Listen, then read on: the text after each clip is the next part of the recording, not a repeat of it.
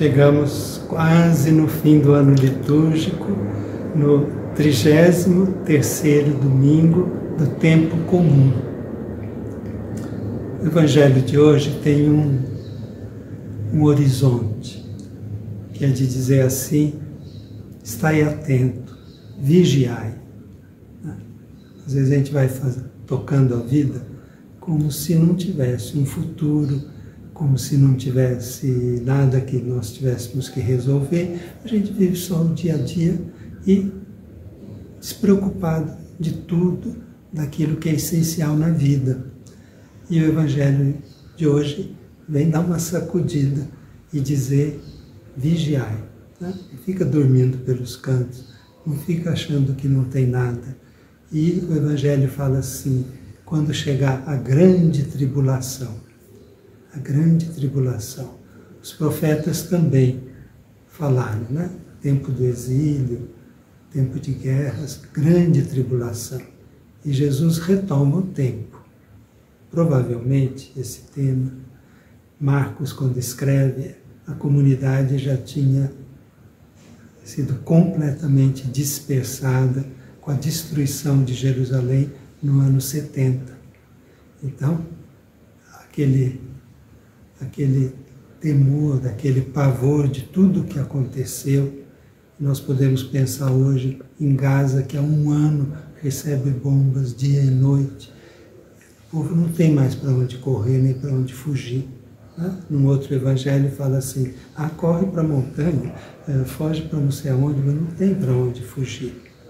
E qual que é a mensagem? Primeiro essa.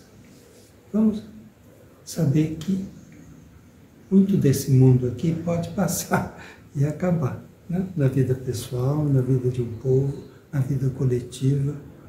Com as armas atômicas, hoje a gente pode, nós mesmos, acabar por destruir a humanidade toda. Com tanta guerra, basta um louco apertar no gatilho. Mas qual é o sentido. Jesus diz: olha a figueira, quando começa a nascer as folhinhas novas, ela está apontando para um renascimento, para uma primavera. O que Jesus diz: olha, no coração desses desastres, a mão de Deus aponta noutra direção. A gente pode renascer, a gente pode reconstruir, nós podemos uh, olhar com esperança o futuro, essa visita de Deus. Esse é o, o, primeiro, o primeiro ponto. Mas Jesus caminha um pouquinho mais, porque a gente vê tanta gente falando assim, olha, o fim do mundo vai acabar amanhã, já está acabando o fim do mundo. Jesus diz, olha, ninguém sabe. Então, é panela ficar falando. Ele diz, nem o Filho do Homem, isso só o Pai Celeste sabe que é para a gente parar de ficar especulando também, como se isso adiantasse alguma coisa, botando medo, pânico. Volte e meia fala, olha, agora acaba mesmo o fim do mundo, fulano disse, ciclano falou, claro, não, não acabou.